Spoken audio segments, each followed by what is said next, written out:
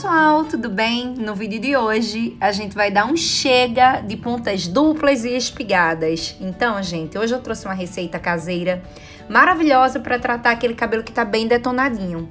Vamos lá pro passo a passo. Antes eu já peço para vocês deixarem aquele joinha amigo, por favor, deixa teu like aqui para me ajudar a divulgar esse vídeo, compartilha com as tuas amigas e não se esqueçam de se inscrever no canal e ativar o sininho de notificação para não perder nenhuma dica de beleza, tá? Espero muito que vocês gostem. Um beijo e agora bora lá pro passo a passo.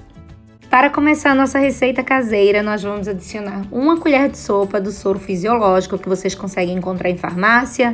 É super baratinho, tá, gente? E o soro fisiológico, ele ajuda a equilibrar o pH do cabelo, ele fecha a cutícula capilar, tratando os cabelos danificados, principalmente o ressecamento, o frizz, as pontas duplas e espigadas, além de manter o cabelo hidratado por muito mais tempo.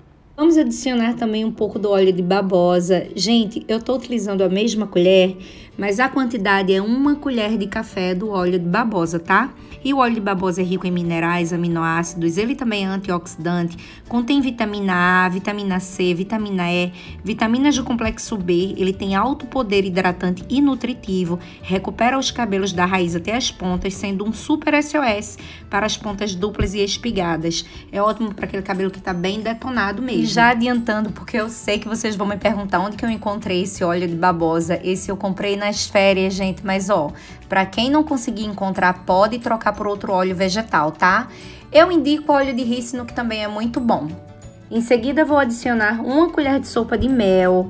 Gente, o mel é nutritivo, umectante, ele é antioxidante, ele é rico em vitaminas do complexo B, vitamina C, vitamina D e vitamina E.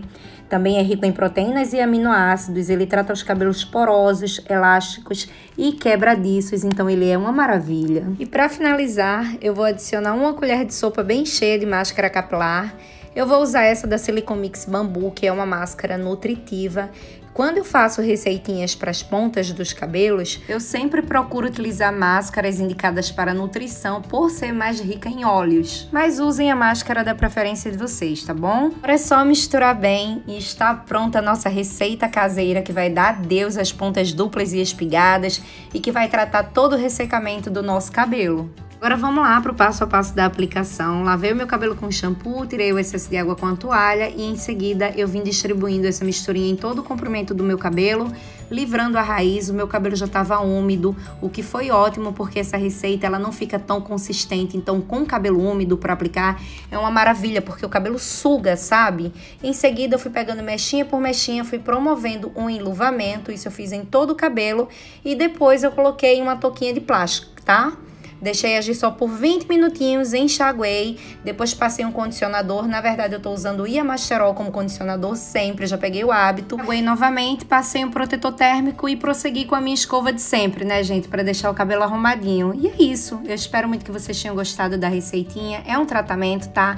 Ah, no cronograma capilar se enquadra na etapa de nutrição, tá bom? Vou deixar mais informações para vocês logo abaixo desse vídeo na descrição.